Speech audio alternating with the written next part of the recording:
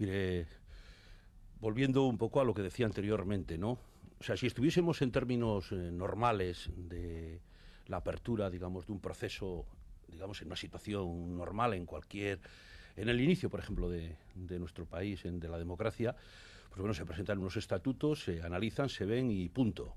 El problema es que estamos hablando de una situación que no es solamente que el papel lo aguante todo, porque los, la documentación la puede aguantar, sino que eso todo, eso tiene, digamos, un recorrido y evidentemente tiene un pasado.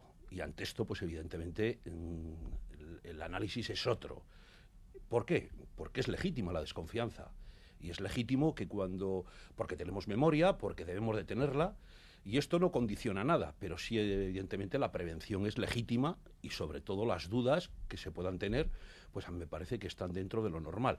Y esta no es una exigencia que, o sea, esto no es un debe que se nos trate de poner a, digamos, a esa gran mayoría social que ha padecido justamente eh, todo lo que tiene que ver con el terrorismo, sino son ellos los que tienen que entender que haya esas dudas, esos interrogantes, esas, esas incertidumbres y evidentemente el, entre comillas, el no fiarte hasta que no veas que verdaderamente eso va en serio. Bueno, no cabe duda, no sé si el primer día de la paz en Euskadi, pero sí eh, un día distinto, evidentemente, que todos los anteriores, ¿no? Y sobre todo mm, mirando al futuro, bueno, pues pensando que sea que sea un futuro de esperanza, ¿no? Eso es lo que yo diría. ¿Y por qué esto? Porque ha pasado, nos han pasado tantas cosas, hemos, hemos visto tanto que yo creo que hay que ser muy prudente, yo por lo menos lo soy, sobre todo porque no me quiero equivocar y no quiero decepcionarme nuevamente, ¿no?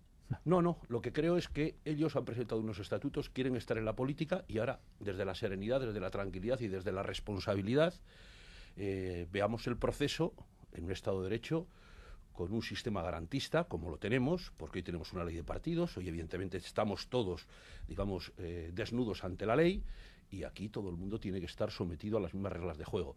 Pero no cabe duda de que mm, tienen que entender que se les exija a ellos un poquito más de lo que se les puede pedir a otros, entre otras cosas por todo lo que he dicho anteriormente.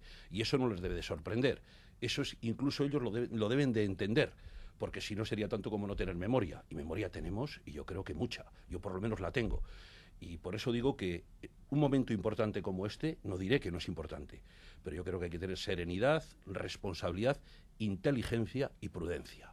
Y con todos esos elementos, dejemos que trabaje, evidentemente, a quien corresponde, que es a la justicia, y que diga si verdaderamente todo esto tiene las, las condiciones para seguir adelante pero evidentemente esto mm, no se nos puede, digamos, tachar, eh, poner encima de la mesa la responsabilidad a quien verdaderamente no la tenemos.